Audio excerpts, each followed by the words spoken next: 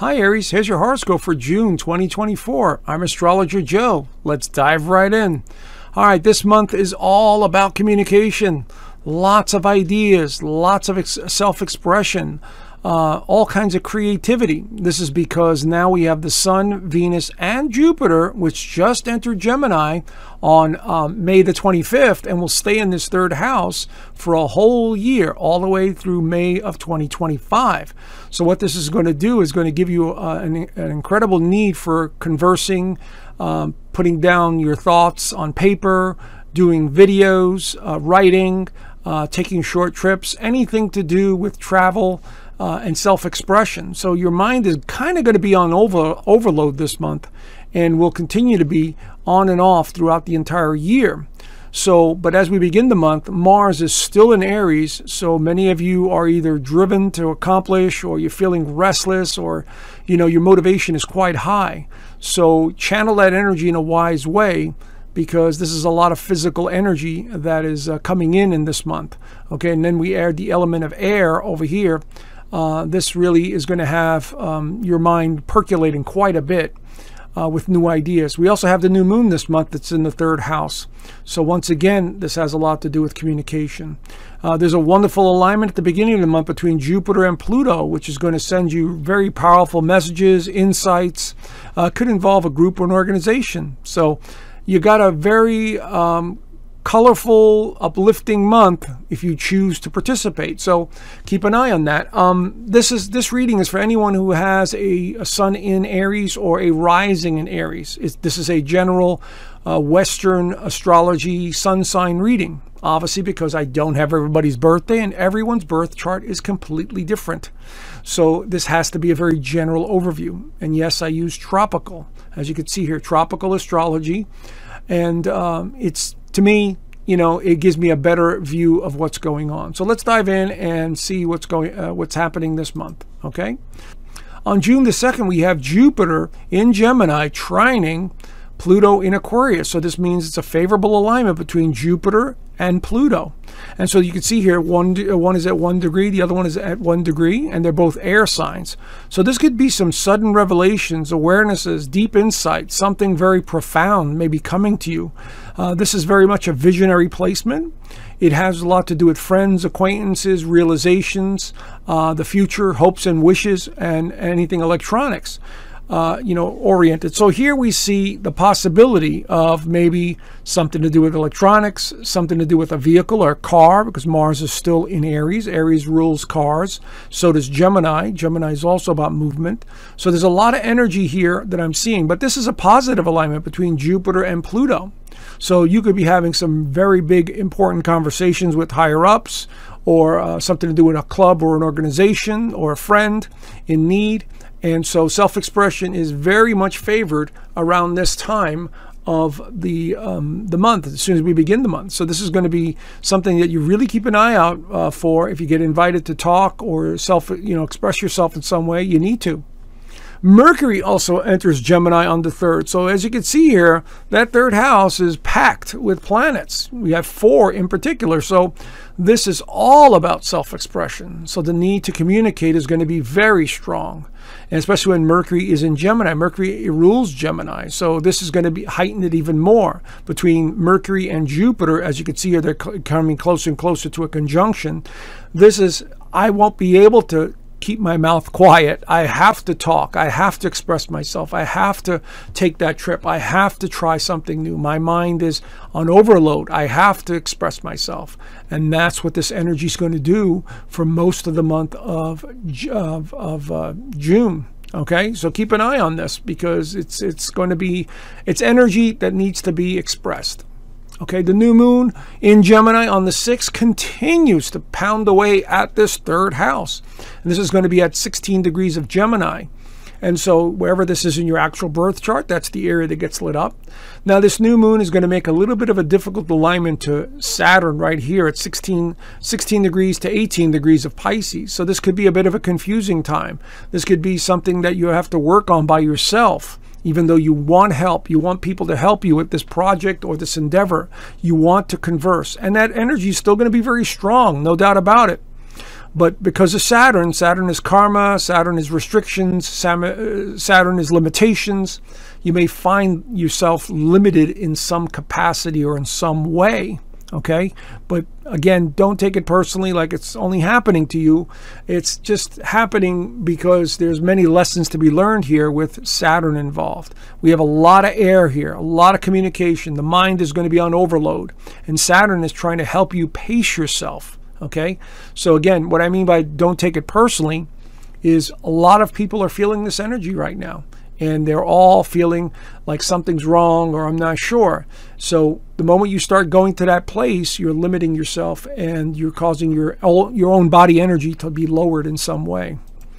Mars enters Taurus, fortunately on the 9th, right there. So our thinking reverts back to simple things, simple pleasures, food, uh, it, money is also going to be highlighted here because Mars is in Taurus, which is the sign of money, in your second house of income and values. So this is going to be very important for many of you to focus on making money, or it could have something to do with your value system, what you believe in, what you don't want. I need to get back to the basics. Uh, you know, I need to slow down a little bit and, and, and work things out. And so Mars is going to help you with all of that as it makes its transit through the second house. And it's going to be very beneficial because all of this energy is very nervous and jittery. And Mars going through the second house may slow you down a little bit to say, hey, you know, life is life is not that bad. I, am going to do the best I can, you know. Uh, but Mars will also be squaring Pluto on the 11th. So here's Mars at, at 11 at 1 degree and here's Pluto at 1 degree. So this is a square. Now these two when they get together and square like that, it's usually a little frustrating and irritating in some way. So this could have something to do with money matters. It could have something to do with somebody that you know, an acquaintance, a, a club, an organization, a charity, you know, your hopes and wishes for the future. They may not be happening fast enough for you. And so you're frustrated with that. But whatever it is, there could be some irritation in the mix here. So be very patient. I know Aries are not very patient, but this is suggesting some sort of patience or some sort of adjustment to a current situation involving money or another person. Uh, Venus enters Cancer on the 17th. Now we're adding a lot of emotion and feeling into the mix. At the same time, as you can see here, Mercury also enters um, Cancer at the same time on the same day uh, just a little while later. So now we have this energy in the fourth house, and the fourth house has to do with feelings, home, foundation, the past, the childhood. And so you may be going back into a little nostalgia. You may be trying to, you know, buy real estate. You may be thinking about moving, uh, remodeling, anything to do with the home. Maybe you're dealing with family dynamics or family matters. This could absolutely indicate that as well. So the energy is definitely shifting here. Okay, so pay attention to your family. Uh, you know, support your family, or they come to you for your support. So there's a lot of family dynamics going on here. The second half of June. We also have the sun entering Cancer this time of the year in the north, northern hemisphere. It marks the summer solstice. So here we have an opportunity once again to shine a light in the foundation of your life. So enjoy things like nature. Maybe you're doing something out in the yard. Maybe you're fixing something around the house. Maybe you're working in the uh, you know in the house somehow. Maybe you're an artist and you're doing art and paint painting in your house. You know stuff like that. But again, the dynamics of the home, feeling, and foundation are being highlighted with the sun going through the fourth house along with these other two planets. So keep an eye on that.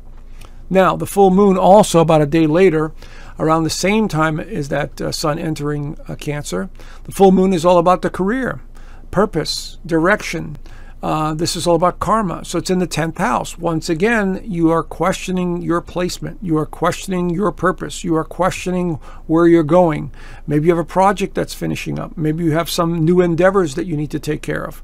This is all part of the equation here. So keep an eye on this.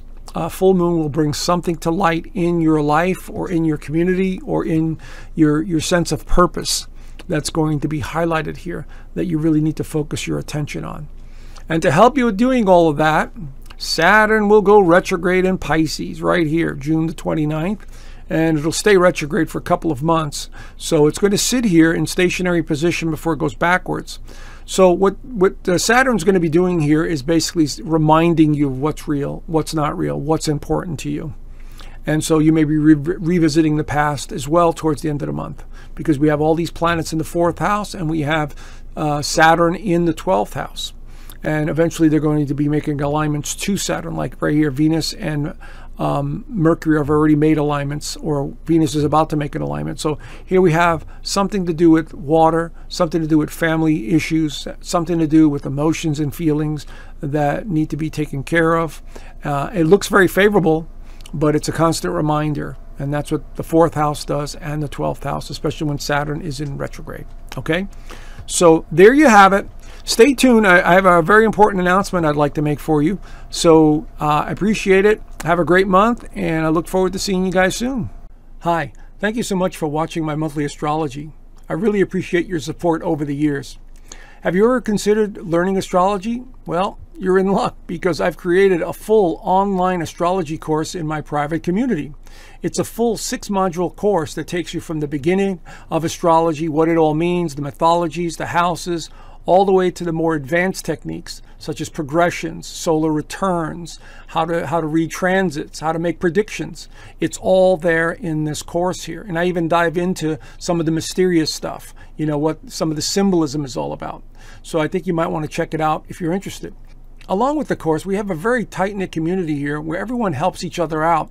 And so, if someone knows a lot about astrology, they help other people with astrology. So, it's a community that really gets involved and, you know, really wants to learn and help each other out.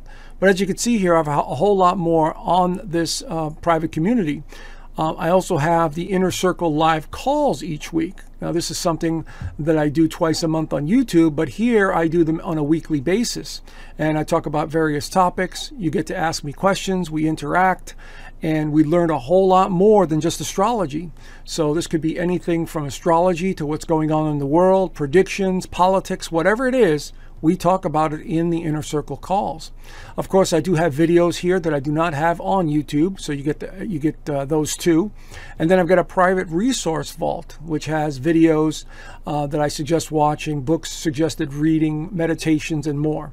So if you're interested in learning astrology or want to be part of a great community that's really growing fast, head on over to the link down below and click on the link and join today. All right. Thank you so much. And I look forward to seeing you soon. Bye for now.